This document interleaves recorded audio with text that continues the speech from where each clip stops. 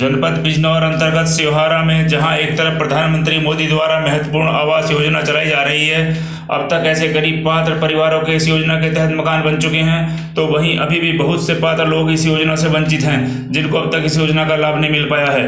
वैसे तो सिवहारा नगर पालिका के सभी वार्डों में अभी काफ़ी पात्र लोग इस योजना से वंचित हैं तो इसी क्रम में वार्ड नंबर दो इस्लाम नगर में बहुत से ऐसे गरीब पात्र हैं जिनको सर पाने तक कोई जगह नहीं है। वहीं लगातार रुक रुक कर हो रही बारिश से इन लोगों का जीना मुहाल हो गया है। वार्ड सभासद सुभद्रा देवी ने जानकारी लेने पर उन्होंने बताया कि हमारे द्वारा पात्र व्यक्तियों की हमने सूची नगर पालिका को भेज दी थी, लेकिन अभी तक इन गरीब परिवारों को अभी तक आवासीय नगर लाभ नहीं मिल पाया। तो वहीं अब श्यामू देवी, राम सिंह, बिरमो देवी, राजेंद्र सिंह रामोतार मोनू सिंह, चंद्रपाल सिंह, धर्मपाल कुमार, सतपाल सिंह, जयउर रहमान, मुजीबुर रहमान, अतीकुर रहमान आदि सभी पात्र व्यक्तियों ने प्रधानमंत्री मोदी से आवासीय नगर लाभ लेने के लिए गुहार लगाई है। 24 news in India web portal channel के लिए सिवहारा से संजय शर्मा की रिपोर्ट।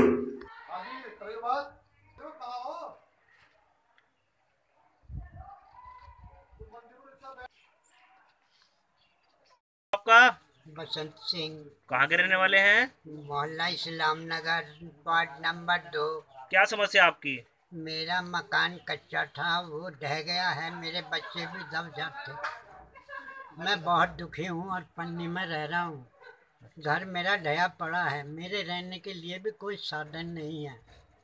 मैं बहुत मजबूर हूँ। मोदी जी की जो योजना थी मुझे कोई लाभ नहीं मिल पाया उससे। मैंने मैंने ऑनलाइन भी सबसे पहले किया था लेकिन मुझे किसी ने मेरी कोई नहीं सुनी। कागज़ भी मैं बहुत दुखी हूँ। मेरे कागज़ कई बार जा चुके। तो अब आप क्या चाहते हैं फिर? मैं ये चाहता हूँ मेरे बैठने का आसरा हो जाए मेरी कुटिया बन जानी चाहिए। और मेरा मकान जो है ये मेरी प्रार्थना बार बार स्वीकार कर ले बस। दिनेश कुमार। कहाँ के रहने वाले हो? सिवारा वार्ड दो। मोहल्ला? इस्लाम नगर। क्या हुआ आपके साथ? यह बरसेत में साहब गिर गया मकान कि जब मोदी जी सबका मकान बनवा रहे ऐसे हमारा बनवा दे। मेरा नाम ललिता है सर। अच्छा। कहाँ के रहने वाले हैं? हम सिवारा इस्लाम नगर। वार्ड दो। क्या समस्या आपकी? हमारा घर नहीं है सर रहने के लिए।